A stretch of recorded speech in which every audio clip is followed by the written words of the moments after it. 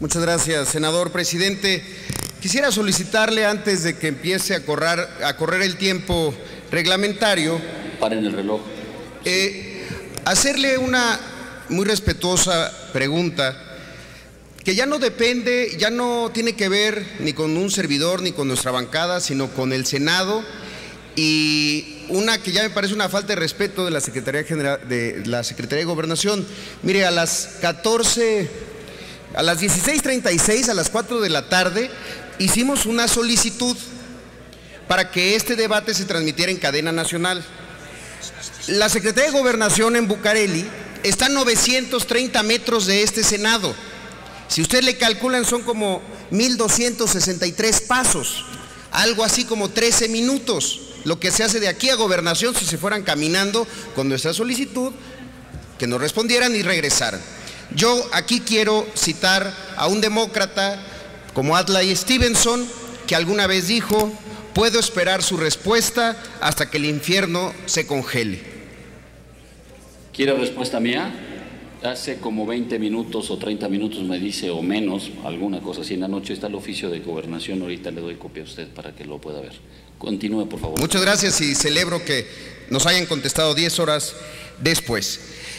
Ciudadanas y ciudadanos senadores, esta reforma al artículo 27 de nuestra Constitución, ya se había dicho antes, es la reforma del contratismo es la reforma de la privatización abierta y descarada de los recursos.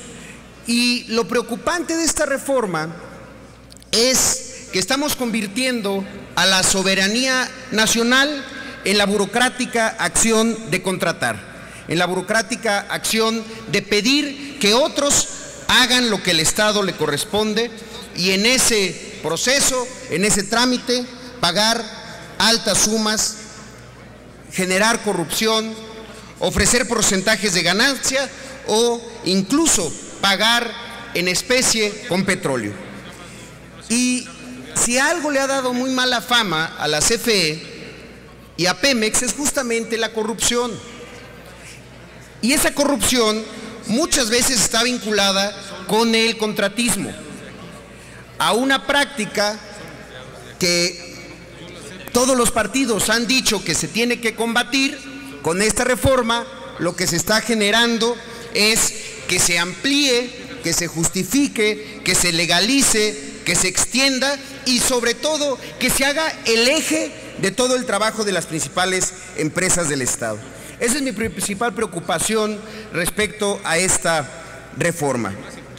La segunda preocupación tiene que ver con esta eh, generosa entrega de soberanía al capital extranjero. Y déjenme explicar un poco más.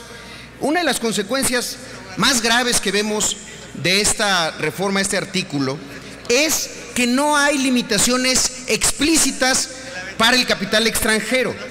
Quienes diseñaron esta reforma encontraron esta fórmula mágica de sin vender un solo tornillo lograr privatizar y extranjerizar el petróleo con artilugios como los contratos.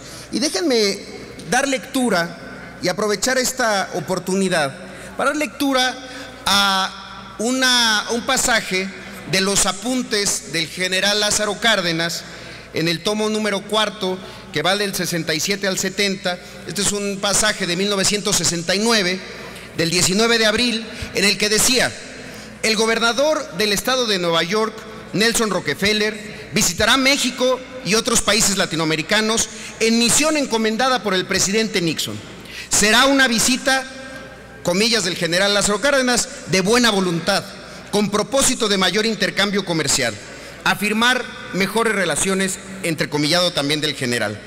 Y sigues diciendo, sobre todo, el representante y el representado han de querer afirmar mayores inversiones de capital norteamericano en nuestro país para asegurar su hegemonía política, a la que México debe de oponerse. El año 1953, dice el general Cárdenas, anoté, Qué bien que la experiencia pasada nos ponga alerta, reflexionando sobre las graves consecuencias que puede registrar el país si se abren de nuevo las puertas a las inversiones extranjeras sin la previa renuncia de los inversionistas a su nacionalidad de origen, como lo señala la Constitución. Quizá el general nos está mandando un mensaje desde 1953 para que por lo menos incluyamos esa solicitud, que los nuevos dueños de las empresas públicas mexicanas por lo menos se nacionalicen mexicanos y tengamos ese sueño y esa ilusión.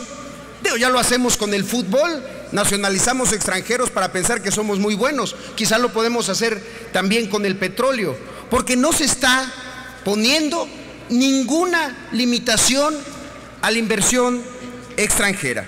Eso lo tenemos nosotros que reiterar y lo seguiremos haciendo cuantas veces sea necesario. No lo ha pedido la nación, no fue una oferta de campaña, no fue una oferta de política pública y sin embargo es la realidad que se está aprobando. Mucho le agradeceré, senador presidente, que pueda dar lectura a la respuesta de la Secretaría de Gobernación para que todos en el Pleno podamos enterarnos qué nos dijeron ante esta solicitud de cadena nacional para que los mexicanos se enteraran de uno de los debates más importantes del inicio del siglo XXI y de uno de los debates que más efectos tendrá en los mexicanos del futuro. Es cuanto, muchas gracias. Gracias,